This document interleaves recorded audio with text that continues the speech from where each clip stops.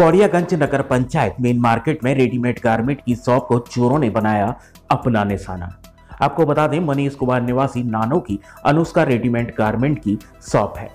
कल रात चोरों ने दुकान में जीने के रास्ते से उतरकर दुकान में चोरी की वारदात को अंजाम दिया। फर्नीचर जलाकर दीवार काटकर गल्ले में रखे बारह हज़ार और दुकान में रखा रेडीमेड कपड़े चोर ले उड़े। सुबह जब दुकान मालिक दुकान पर आया और दुकान का शटर खोला तो देखा अंदर दुकान के पीछे के रास्ते से चोरों ने चोरी की घटना को अंजाम दिया है।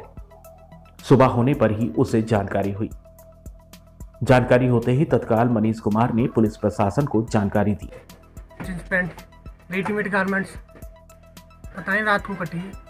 कहाँ से कटी है? पीछे से। पीछे। जला के काटी है जला के काटी है। पहले तो जीना जीने में से आए। उसके बाद दीवार निकाली है उसके बाद जीने का गेट खुला है उसके बाद इस वाले का ये इसमें जलाया है उसके बाद तोड़ा है। उसके बाद गल्ला गले में पैसे थे मेरे वो गल्ला सफ़ा कर दिया उसके बाद पैंट शर्ट मुझे कपड़े वगैरह तो नहीं चले कपड़े वगैरह भी गए। जले जले नहीं कपड़े नहीं गए ले हैं चोरी हुई चोरी हो गए कपड़े और कितने रुपए का नुकसान है आपका दस बारह हज़ार रुपए गले में पड़े थे मेरे को बारह हज़ार रुपए पैसे पेमेंट करना था कपड़ा ले गए दुकान से। और कपड़े। Pant shirt pant shirt daily up down करते हैं आप गाँव से? हाँ, daily गाँव कितने से बजे जाते हैं शाम को यहाँ से दुकान बंद करके? शाम को साढ़े छः बजे।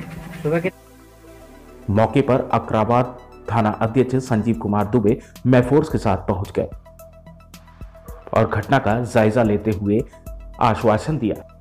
जल्द से जल्द चोरी की खुलासा कर चोरों को गिरफ़्तार किया जाएगा।